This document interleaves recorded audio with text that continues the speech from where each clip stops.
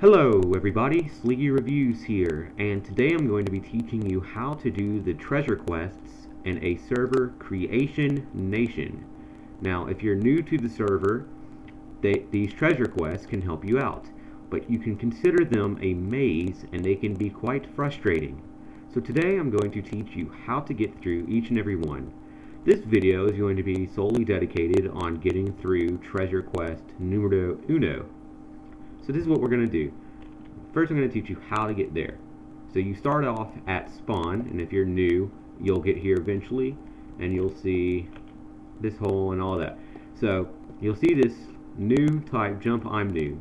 Turn exactly 180 degrees around and walk. Ooh, lag, lag there. Hmm. And jump down and walk over this way. So, um, yeah. So we're going to be walking over to this treehouse over here, which is where the first treasure quest is located. So, so we're just going around. There's a skeleton there. We're going to ignore him. Just keep walking. Anyways, there's an Enderman. Ignore the chat at the bottom. So anyways, yeah, we're just going to we'll come up here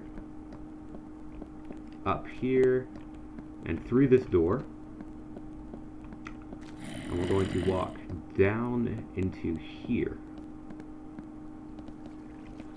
And now, we could go down there, but that is Treasure Quest 3. We're going to Treasure Quest 1. I don't know what happened there, but anyways, continue up here, around this corner, there is a zombie. Still ignoring him. Coming up here and over here. And here's the first treasure quest entrance. So, just real quick, just in case we die, and you're very much going to want to use set homes throughout this. Leap of faith, beware of death. If you live, find your way in the dark. So what you're going to want to do is you're going to want to jump down and stay in the center. Because there is water in the center and you're going to want to immediately start swimming up. Because otherwise, if you don't, you might drown. And here is the official, official, official entrance. So, treasure quest. Game rules. Do not leave any doors open, close after you enter. This is so when others play the game. Alright, good luck. So, we're going to come up here, set home, and we have a little area where we have to get across the glass. And over here is a sprint jump, so... Oh, and I failed. Alright. Okay, so take two. As I said, these can... Whoa, lag again. As I said, these can be tricky. So anyways, just make your way back. The problem that time is I did not sprint. So let's see if I can sprint this time. Oh no! I swear to God. Nice. Alright, let's try this a third time. I sprinted but then hesitated. Which is something you can't do. Okay. Okay, I got it this time. I got it. And, alright. Set home. Okay, now there's three ways you can go here. Death, death, and life. So let's go to life, shall we? Now over here, we go up the set home. Now, we just come over here. There's the entrance, and there's the door we have to get to, which I've already opened beforehand. So anyways, we just come through here, close the door for courteous reasons, and now we're in the maze. Set home. Now, turn right, turn left. Sorry. Now come, now that, that way is the way to the end, but we're going to want to come over here for a quick second because there is a surprise. Right here is the um, TQ1 red tag, which is really cool. Once you beat it, it's like, oh man, look, I'm awesome. Anyways, if you want that, you can. But once you've gathered that, come over here, and here's the ending. Now you will get tricked. That's a trick. Do not fall for that. Anyways, see, that was the tricky part. So now we come up here, and this is where a lot of people have trouble, because this is evil.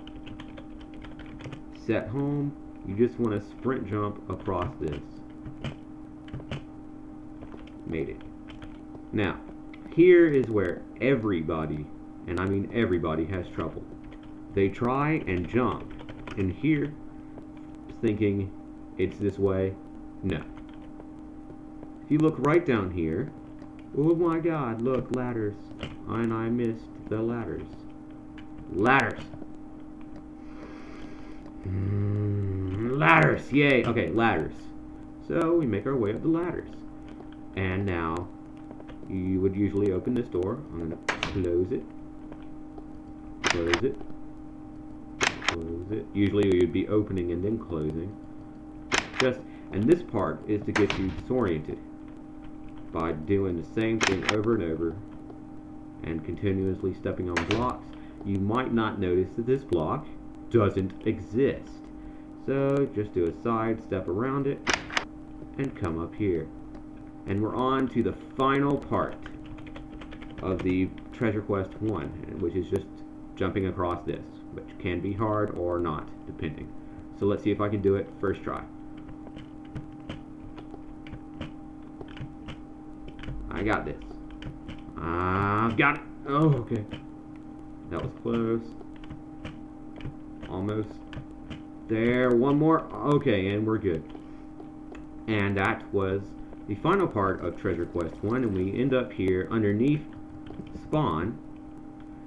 And over here is your pay cube, which you would right-click and usually check this chest to see if anybody else has left anything right click the bookcase to learn a magic spell which you can use for teleporting. And that's it. You have successfully made it through treasure quest 1 thank you for watching. Please comment rate and subscribe if you found this informative or entertaining or whatever. I hope you enjoyed it. Thank you and goodbye